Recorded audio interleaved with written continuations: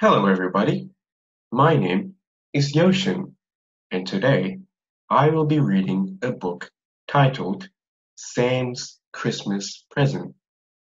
This book is written by Annie Besant and illustrated by Alicia Souza.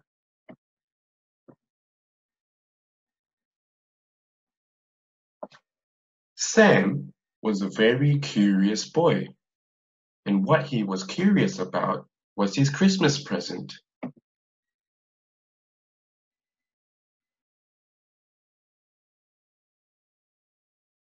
Mummy, where is my Christmas present? asked Sam. She smiled and said, It's a secret, Sam. Sam stuck his tongue out and went in search of his father. Daddy, where is my Christmas present? asked Sam. I can't tell you. It's a secret, Sam, his father replied, smiling.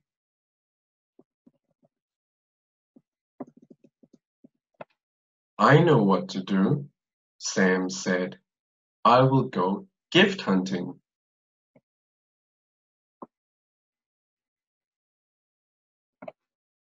He looked behind his father's desk and he found a gift box wrapped in red paper. But this is for Aunt Juju, said Sam, reading the tag.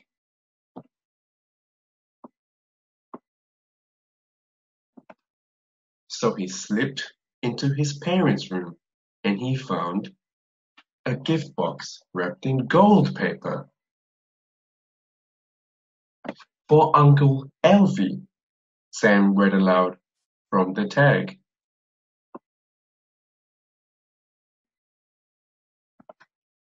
Then he opened his mother's cupboard and he found a gift box wrapped in purple paper.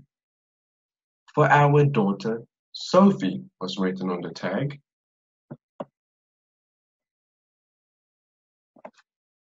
Sam went back to his room and sat on the floor, feeling very sad.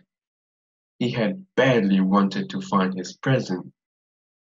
And then he saw a gift box wrapped in silver paper under his bed. This is for me, he shouted, reading the tag. Sam shook the box. He turned it around in his hands. What was inside?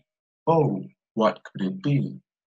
Did he open it or leave it in the secret place? Are you curious to know what Curious Sam did with this gift?